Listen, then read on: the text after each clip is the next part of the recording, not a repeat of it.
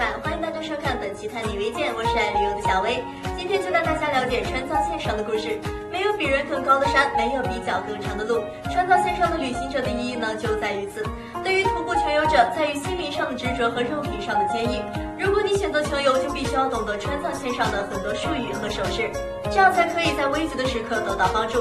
为什么川藏线上很多女游客都会举着求二逼的牌子呢？究竟是什么意思呢？你明白吗？小薇查阅了很多资料，才明白 RB 是英文 Red Bull 的缩写，也就是红牛的意思。因为功能饮料可以缓解疲劳，外出旅游当然对身体的要求非常大，必须要有强大的体力。在川藏线上，大多数穷游的人，就算是不带上自己的女朋友，也一定要带上红牛。如果身体出现问题，支撑不下去了，就一定要在显眼的地方写上求 RB 的字样。如果有好心人看到了，就会伸以援助之手，帮你度过危机。此外，还有另一种意思，就是希望自驾游的旅客可以让自己搭个顺风车。一般司机看到后都会出手相助。除了求二 B 以外，你还可以经常看到一些穷游女对你竖起大拇指，这可不是在表扬你的车技好，他们其实就是想求助路人搭个顺风车而已。穷游真的需要非常大的勇气。如果你要去川藏旅游的话，一定要记得多带点红牛。去穷游之前，千万要深思熟虑。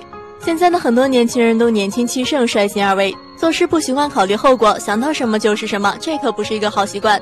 穷游的时候一定要做好准备，绝对不能鲁莽行事。